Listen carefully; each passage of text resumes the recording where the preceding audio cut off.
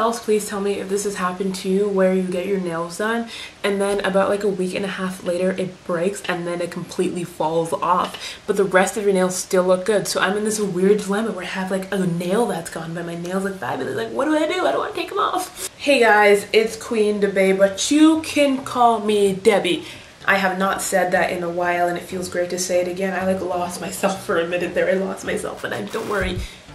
I am here. And I'm wearing this tiara again because I like how it looks in videos and I feel special. This is my Sweet 16 tiara, by the way. It's not like a real diamond or anything. I'm, I'm cheap, okay? I'm cheap AF. But today, if you can't tell by the title, I am doing a Snapchat things that annoy me. And I'm not gonna say I'm innocent of all these things, even though I kind of am because I rarely use Snapchat, but like, I'm not completely innocent. These are just some of the things that people do that are really like no, like they just are really annoying. So yeah, let's just like stop talking. But before, I'm gonna remind you guys to subscribe if you have not seen my face before and if you're new to my channel. And I always leave my social media, my YouTube, Twitter, which I'm way more active on than my Instagram, and my YouTube, Instagram, which I post literally like once every three weeks or something. But if you want to follow me on Instagram, you should do that because that would be really cool. But yeah, let's get into this video about those Snapchat biatches who do this. Not just girls, there's guys too, but it's mostly girls, mostly girls. Mm. Okay, the first thing, this is just my opinion on all these things, but is the no one text snap. I just feel like this is the biggest like I want attention thing to do. Maybe on occasion if it's like my mom took my phone, don't text me, she has it or something like that. That's fair. But a lot of times people are just and they're like No one likes me. No one cares that I exist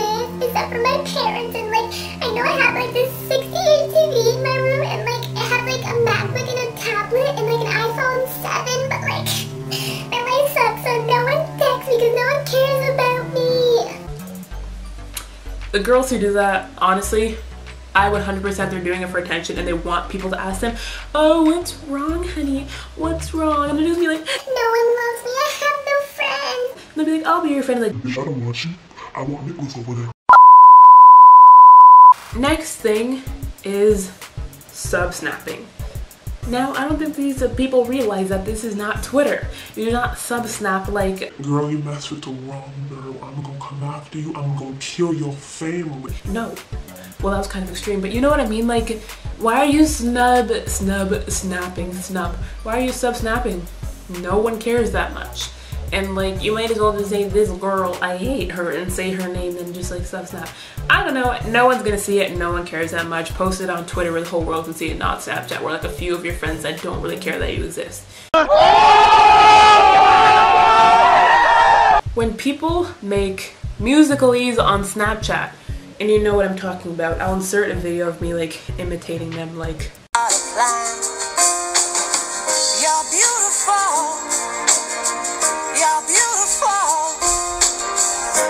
beautiful. somewhere on the screen, but you know when they're all like mmm, mmm, mmm, like this is not musical.ly go make a musical.ly account go post on there don't send me your good vibes in the bathtub vibing ish like no no no no Like, yeah, yeah, I'm in the bathtub. It's lit, it's lit, fam, it's lit, it's lit. I'm cool, I'm a baddie. I am a baddie. Respect me. Ooh. the somebody snap snap. This just makes me upset because like I feel less important but it's like when someone sends that snap you know they sent it to everyone in their contact list. And maybe three out of those people snaps them. Because no one wants to snap yo attention looking for desperate looking cat face desperate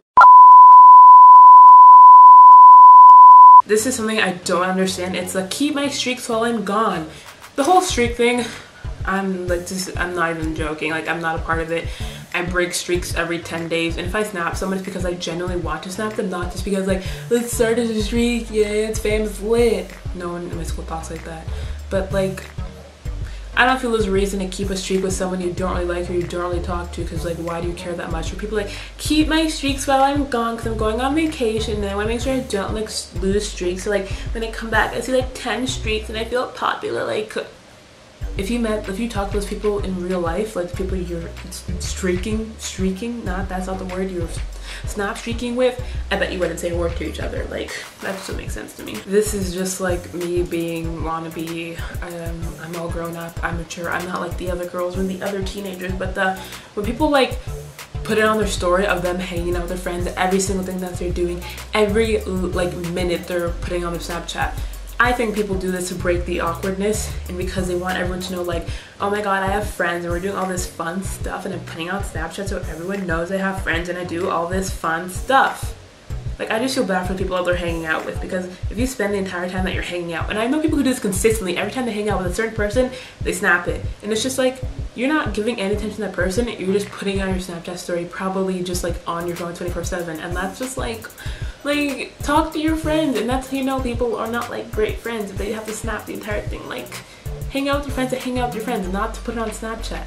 And I'm guilty of doing this a few times, but I know people who do it consistently. And in the snap, everyone else is on their phone snapping them snapping. It's like snapception, but no, hang out with your friends. Mm. But yeah, that is all I'm gonna say about Snapchat and the Snapchat things that annoy me. I hope you guys like this video. If you agree with any things I say, anything that I say, anything I said, leave in the comments. If you have some other things on Snapchat that annoy you, leave them in the comments. I actually really like reading comments and I literally reply to every single comment because I'm irrelevant, but like people like me for some reason.